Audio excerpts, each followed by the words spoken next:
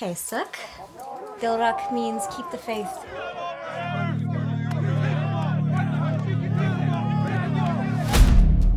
Take care, Sook. It's a different world. How is Dayton?